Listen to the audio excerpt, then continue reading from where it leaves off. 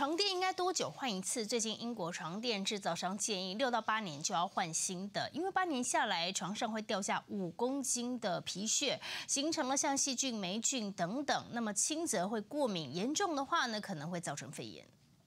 一年四季每天都要用的床垫要多久换一次？英国床垫专家建议，要根据使用情形及磨损状态，每六至八年就应该换掉旧床垫，因为老旧床垫可能藏有以下物质，对身体产生不良影响：一、细菌。研究显示，老旧床垫是细菌温床，曾发现过葡萄球菌、乳酸杆菌和大肠杆菌，这些细菌可能导致皮肤感染。胃部不适、关节问题，甚至造成肺炎。另外，也可能导致泌尿道、眼睛感染。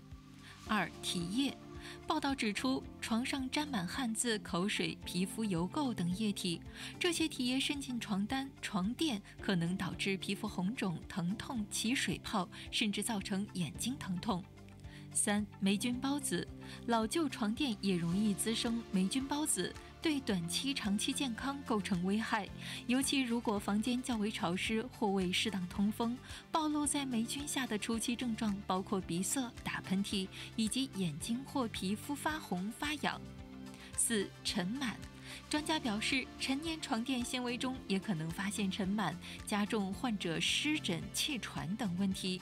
事实上，你的床垫越老旧，积累的尘螨就越多。